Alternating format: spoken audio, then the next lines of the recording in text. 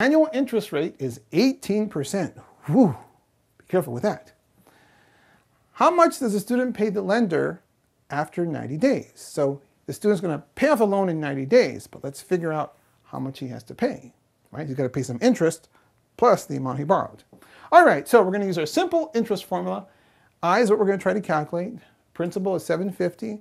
Now, what's the rate, Charlie? Remember, it has to be a decimal. And so what is it? 0.18. That's right. Remember, you got to move the decimal two places to the left.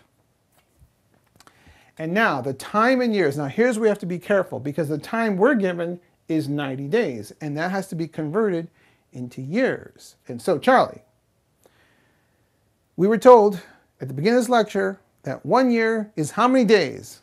360. That's right. So to convert that 90 days to years, it's 90 divided by 360, or it's that fraction of a year. That's another way of thinking about it. So we're going to do we're going to do conversions in the next lecture, by the way. So we'll talk more about this conversion here.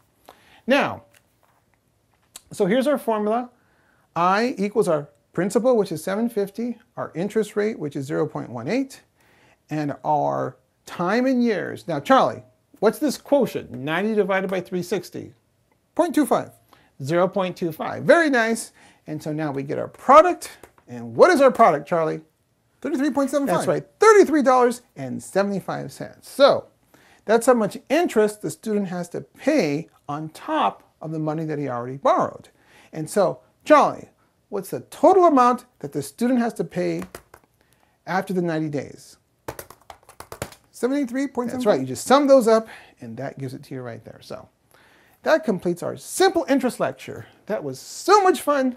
I think it's time for us to take a break and relax. We'll see you all again soon.